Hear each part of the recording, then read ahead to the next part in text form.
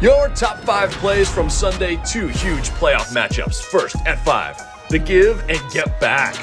Domantas Sabonis gets it to Malik Monk, right back to Sabonis, who throws it down. The two man game, Sabonis and Monk got game. At four, with the clock winding down in the third, Steph Curry over to Klay Thompson, who knocks down the three plus the foul. The Warriors were plus 30 with Klay on the floor. More from the Splash Brothers coming up. At three, Mitchell Robinson sets the screen, he rolls and throws down the monstrous two hand jam.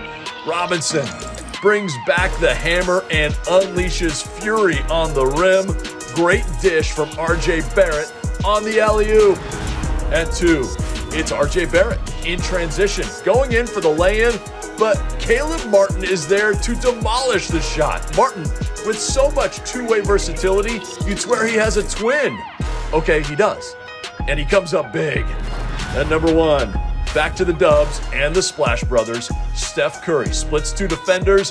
The insane circus shot drops, plus the foul.